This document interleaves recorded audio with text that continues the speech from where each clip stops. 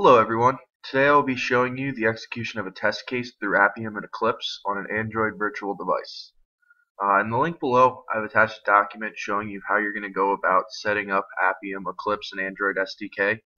The downloads and installs may take some time, so there's some really good step-by-step -step instructions and screenshots in there to take a look at and follow along with to get you to this point right here. Just to recap, we've launched the emulator, started the Appium server, and we're ready to run the test case.